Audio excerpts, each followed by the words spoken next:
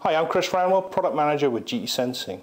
Today I'm going to talk to you about the Protimeter line of moisture meters and hygrometers. Let's look at the Protimeter Psyclone. This is an easy to use handheld hygrometer with extremely fast response to temperature and humidity. The first thing we'll do is pull the probe out of the case.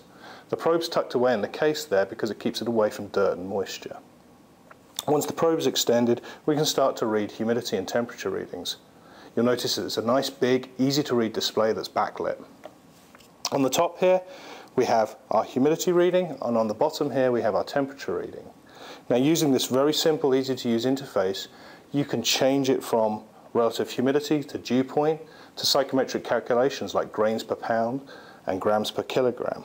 We also have min, max, and average functions on here. So it's a very, very uh, flexible, full-featured hygrometer. On the side here, there's a jack plug, and as an optional extra, you can get a surface temperature probe.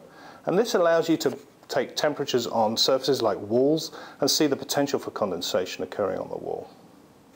So that's it, that's the Protimeter Psyclone.